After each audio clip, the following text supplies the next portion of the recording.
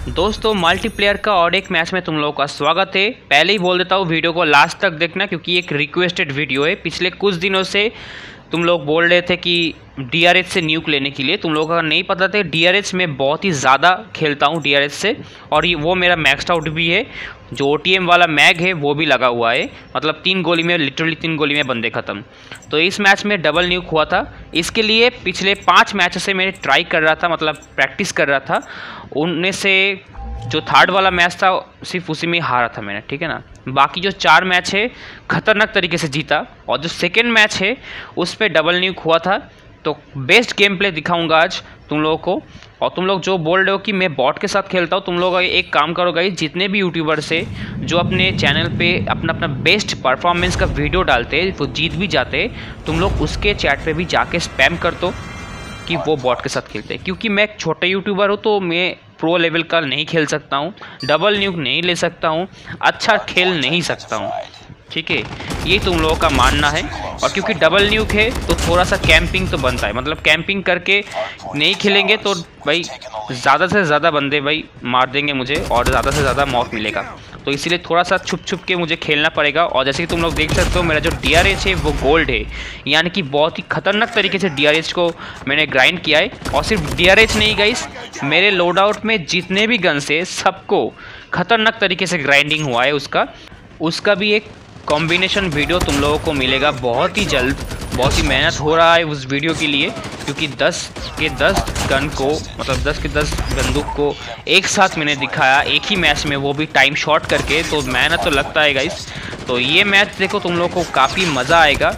मैं मानता हूँ गाइज़ इस गेम में शायद बॉट हो भी सकता है, मगर जो दो बंदे हैं ना, इस मैच में ओपोनेंट है दो, वो दो ओपोनेंट मुझे मैसेज किया था इस गेम के बाद, ठीक है, खेलने के लिए बेसिकली मैसेज किए थे। तो बॉट तो मैसेज नहीं कर सकते ना।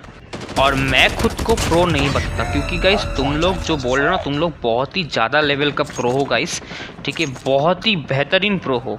मैं खुद को कभी भी प्रो नहीं बताता हूँ, ठीक है? मैं नूब का नूब ही रहूँगा, हमेशा के लिए भाई नूब का नूब ही रहूँगा।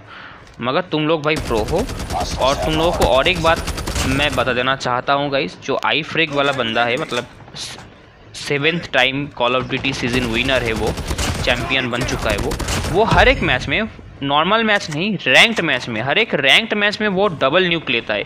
अब तुम लोग ये तो नहीं बोलोगे कि रैंक्ड मैच में भी बॉट आता है है ना? वो भी लेजेंडरी प्लेयर है और सेवन टाइम विनर है। और अगर वो ले सकता है तो मैं क्यों नहीं ले सकता? क्योंकि मैं छोटा यूट्यूबर हूँ, मैं नहीं ले सकता। ये देखो, मैं मर गया। तो भाई बॉट कैसे मार सकता है? बॉट अगर होता तो नहीं मार पाता, ठीक है ना? और ये अंदर का बात है थोड़ा सा। तुम लोगों को नहीं पता है। मैं बता देना चाहता हूँ। कि कॉल ऑफ़ ड्यूटी में नॉर्मल मैचेस या रैंक मैच किसी भी मैच में बॉट नहीं आता। बॉट सिर्फ़ और सिर्फ़ बॉट का जो गेम प्ले है, वो सिर्फ़ और सिर्फ़ प्रैक्टिस मोड पे दिखाया जाता है। और जितने भी बंदे होते हैं, वो कम के का बंदा होता है या कम लेवल का बंदा होता है और थोड़ा सा नूप भी होता है। ठीक है, मगर प्लेयर असली होता है। और एक का अगर तुम लोग एक एग्ज़ाम्पल देता हूँ मैं। एक का नाम मैंने देखा कि one two three four five six seven eight ये नाम था लिटरली मैंने सोचा ये बॉट है। मगर एक ट्राई के लिए मैं मैसेज किया, वो रिप्लाई भी दिया। अब बताओ, क्या ही बताओ, ठीक है ना? और ऐसा नहीं, मैं डोमिनेशन खेल रहा था कुछ दिन पहले।